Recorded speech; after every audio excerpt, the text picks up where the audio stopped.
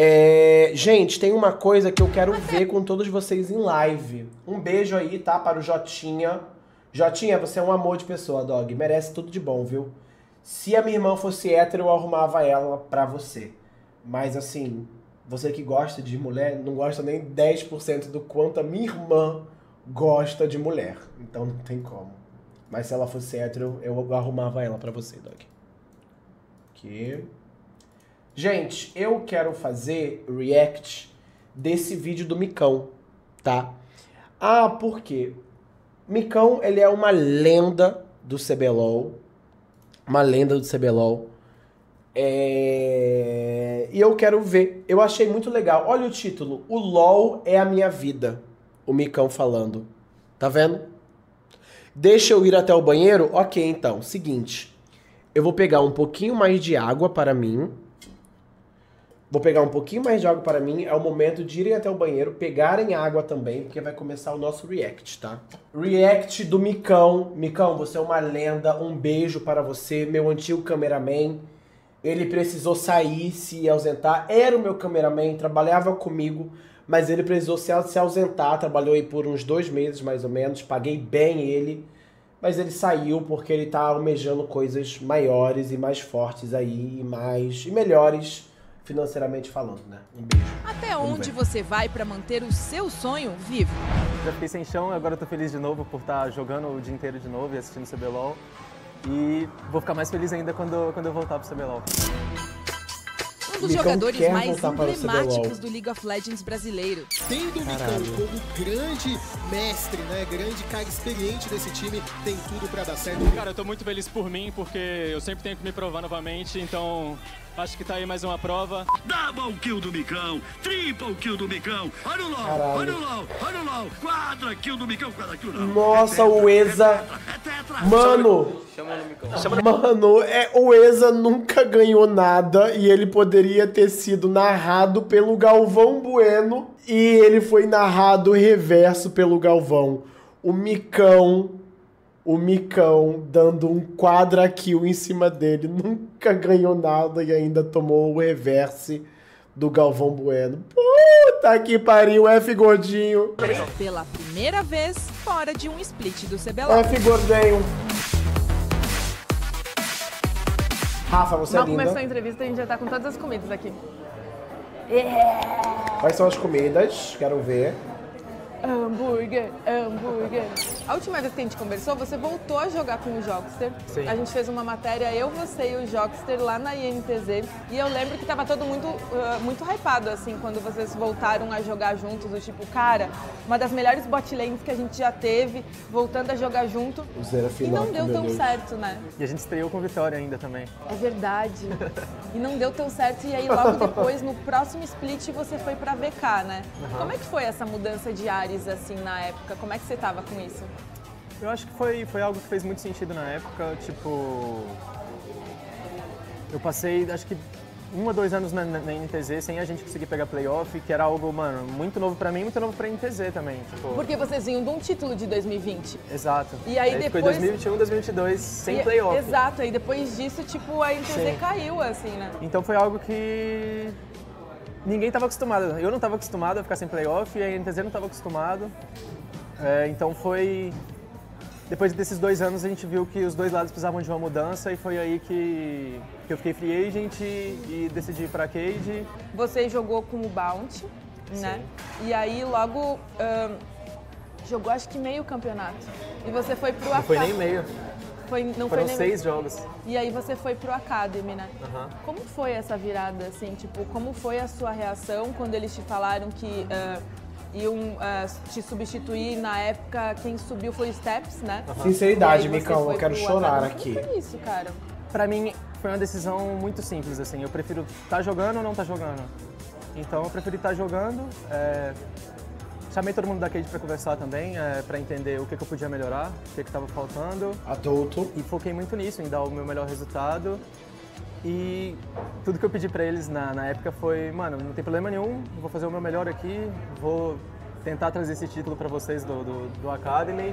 Eu só quero ter outra chance, sabe? Tipo, eu, é, eu sou capaz, eu vou mostrar aqui no, no Academy que eu mereço outra chance. Depois disso, a gente esperava te ver no CBLOL e isso não aconteceu. O que, que aconteceu? Tipo, uh, você que quis dar esse tempo, não surgiu uma oportunidade, o que, que aconteceu? Então, tipo, primeiro sobre a, sobre a Cade foi... Eles só me informaram que eles estavam tentando esse, esse outro undercarry, que é o Trigo que está com eles hoje, que é um undercarry muito bom também, então é, meio que, que eu fiquei na espera, assim, depois eu, eu, eu soube que eles iam continuar, que eles conseguiram o Trigo e iam ficar com o Trigo. Nisso você ainda estava com contrato com eles? Tava, tava. Aí, tipo, eu fiquei um... Tipo, quando acabou a Academy, eu, eu não sabia ainda o que ia acontecer. Eu falei, mano, tipo, eu dei o meu melhor aqui, eu trouxe o título, então eu espero que eu, que eu volte a jogar. Como é, assim, ficar, tipo, esse tempo longe do CBLOL, que é onde você queria estar? Olha, foi... Confesso que foi muito, muito triste no, no, no início, assim. Eu fiquei meio... Tipo, eu, eu jogo CBLOL desde o início do CBLOL. Eu tô com quantos anos agora? Eu tô com 26, vou fazer 27. Então vai fazer 10 anos que eu tô aqui em São Paulo, morando só pra jogar LOL, tipo... No LOL é- CBLOL. É minha vida, mano, é minha vida. Tipo, é o primeiro split do CBLOL que eu, que eu não, não jogo, eu fiquei sem chão, assim. Eu fiquei, mano, o que, que eu faço agora?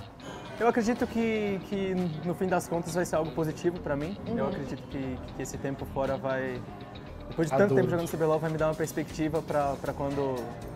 Se, se Deus quiser, se felizmente eu, eu conseguir voltar, é, eu Caralho, mano. Micão, podem falar tudo dele, mas o cara tem determinação. E ele, tipo assim, osso duro de roer, família. Osso duro de roer. E tá certo, viu? Tá certo. Independente do que falem dele, é, o que quer que seja, tipo, ele gosta do que faz, ele vive a parada, mano. Igual o Micão não há. Eu vi alguns comentários no chat que o Micão aparenta ser muito gente boa. Sendo hiper honesto com todos vocês, eu nunca fui de ter muitos amigos dentro do competitivo. Quando pro player, agora que eu sou uma figura pública, eu tô tendo mais proximidade com as outras pessoas, né? Com todos, assim, pra ser bem honesto. Uma determinada proximidade, como nada muito intenso, mas também muito mais próximo do que eu fui há muito tempo atrás. Todas as minhas interações que eu tive com o Micão, ele foi uma pessoa assim sensacional, tá ligado?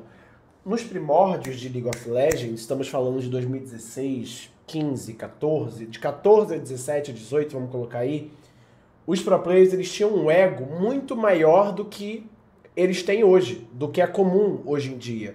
Porque era uma parada, tipo assim, nova, era novidade, todo mundo tinha um ego lá em cima. Nunca vi o Micão tendo ego, nunca vi ele sendo escroto com alguém, nunca vi ele dando rage solo e um amor de pessoa, mas enfim. eu vou estar um jogador muito melhor. Como foi isso, assim, acordar e não ter, tipo, essa obrigação, sabe, de jogar tantas horas por dia, assim? De sábado para domingo, eu acho, eu fiz uma stream de, de 15 horas é, só jogando LOL. Tipo, foi 15 horas direto jogando LOL, mais de 20 partidas e foi ali. Foi o meu dia mais feliz streamando, assim, desses tempos recentes. Então, Caralho. ainda é o que eu amo fazer, jogar LOL. Tipo, mesmo que eu não esteja no CBLOL agora, que seja streamando, que seja, tipo, podendo ensinar muita gente que, que me assiste também. Já que você está assistindo bastante o CBLOL, assim, e a gente está num meta que tem favorecido bastante também os ADCs, né? O que, que você está achando, assim, desse meta e o que, que você está achando dessa, da- dessa nova safra que está vindo também de ADCs aí, que estão mostrando bastante jogo pra gente, né? Pelo menos agora no começo do campeonato. O, acho que o Ayu, principalmente, é o, é o que está mais em alta e, como eu estava falando com você um pouco antes, tipo, ele, ele é um jogador novo que parece que ele já veio Esse pronto, parece que ele já, já sabe esses tudo e é o primeiro split dele jogando Jesus. TD Carry. Então, essa impressão que, que dá vendo ele jogar é, é uma impressão muito boa. Tipo, ele realmente é um cara a, a se assistir, assim, é um cara que. Eu diria pra não Ele ia falar cheira craque. estragar, sabe? Vamos com calma, que ele, é, que ele é novo ainda, mas com certeza ele é um cara diferente e, e eu espero que ele, que ele continue nesse nível aí, e inclusive o, o time dele que ninguém esperava tanto, né? Acho que já estavam esperando um pouco a mais dele, mas não da Fúria. Não tem como não falar do, do, do- do Netuno, né? Tem o Netuno, que, tá, que talvez seja o maior nome agora. Acho que é o Netuno e o Titã, se colocar assim. É, FB Voy. O Brence esse ano continuou jogando muito, mas é que é difícil comparar com o ano que ele foi campeão, né? LoL é um jogo muito em time, então é, é muito mais fácil você ser o melhor jogador da sua posição quando seu time é campeão, tipo, é óbvio isso. Você acha que mesmo assim sobra espaço pra você, tendo tantos talentos assim? Ah, eu acredito que sim, tipo, Ai, Como eu disse- Rafa, nossa, mulher, pra quê? Meu Deus. O bichinho tava, ele tava desempregado aí já dando entrevista pra você, Rafa. Maldade perguntar se ele tem espaço, ele tá desempregado, mulher. Meu Deus, pra quê? Meu Deus. LoL é um jogo muito de time, então é, o que eu posso trazer para um time é, é muito mais do que pode ser visto ali na, na, na tela. Tipo, é.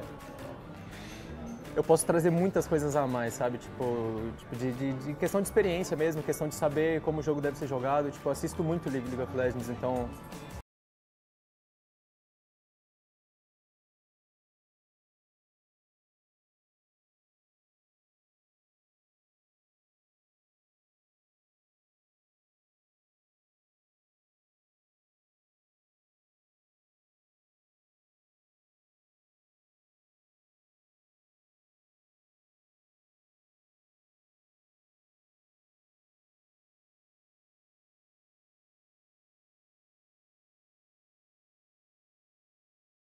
eu voltar pro CBLOL. Então a gente se vê no split que vem, no ano que vem do CBLOL? No split que vem. Se não for no split que vem também, no, no próximo, uma hora eu volto, uma hora Ah, vai. Boa.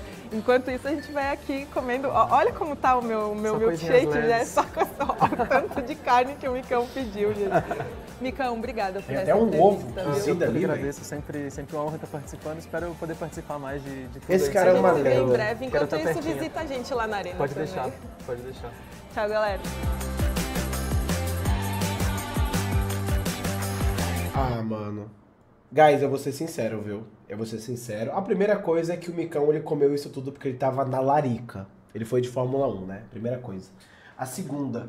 Vocês, assim, eu vou ser honesto com vocês sobre o Micão. Né? É, eu vou ser honesto. Eu vou, eu vou trazer uma visão mais honesta e adulta pra parada. A primeira. Extremamente foda uma pessoa correndo atrás daquilo que ela quer, daquilo que faz ela feliz. Não tem nada mais bonito do que isso, tá? A gente aqui nessa terra, para mim, a gente tem que correr atrás da- das poucas coisas que nos fazem felizes, né? A gente tem que encontrar as coisas que nos fazem felizes e correr atrás dela, saber, né, e correr atrás dela para ficar com ela. Micão está fazendo isso, nada mais bonito do que isso. Mas é, eu acho que vai ser tudo muito ingrato para ele daqui em diante, porque o Micão é um jogador que já queimou muita. é até irônico falar isso, né? Já queimou muito. Micão. Meu Deus. O Micão já queimou muita lenha, né? Ele é um jogador que ele foi um dos pioneiros dentro do League of Legends, dentro do eSport, dentro de ser um pro player. É, Hoje eu não sinto que ele seja tão bom quanto ele já foi lá atrás. Mas eu acho ele bom, eu acho ele nível CBLOL. Sendo bem honesto para vocês, eu acho o Micão nível CBLOL, tá? É, não acho que ele estaria no top 3, no top 5 melhores AD Carries. Mas, por exemplo, entre alguns jogadores AD Carries que estão no CBLOL ou ele, eu prefiro ele facilmente. Ainda assim, entendeu? É, ele é uma pessoa que ele vive o game, como vocês viram, ele corre atrás, ele quer ser o melhor, ele quer se provar, ele quer mandar bem, extremamente foda, isso tudo.